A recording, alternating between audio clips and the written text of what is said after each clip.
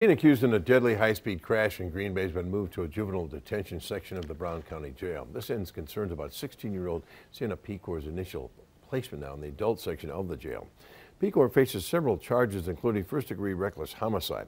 Back in October of 2022, investigators say Pecor was driving over 100 miles per hour on Mason Street in Green Bay when she crashed her vehicle and killed her passenger, 17-year-old Cruz Beltran.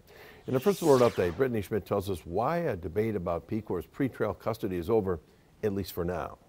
State of Wisconsin versus Sienna Pecor. 16 year old Sienna Pecor and her defense attorney appeared in Brown County Court via Zoom today for a review of Pecor's placement while waiting for her jury trial to begin in February.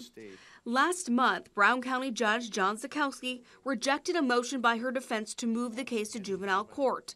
He also rejected a motion by the defense to move Pecor to a juvenile detention facility. Instead, the judge kept her in the adult section of the Brown County Jail as long as juvenile requirements are being met. That decision required a status check every 30 days. Today, the court learned the circumstances in jail have changed. Uh, As of earlier this week, uh, the defendant has been moved to the juvenile detention center.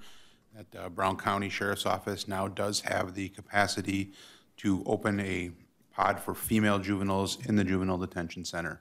So it's my understanding that that is where she is being housed and where they intend to continue to house her the very least until her 17th birthday. Pecor's defense attorney says they learned of the move last night. She says she still doesn't know what that means in terms of treatment, education, or access to resources juveniles are required to have by law. At this point, I, I really have so little information about the current status of her housing that I'm unable to offer more comment other than just to reiterate that the way in which she was being housed was entirely inappropriate and contrary to the law, and it remains to be seen uh, what, what happens from here on.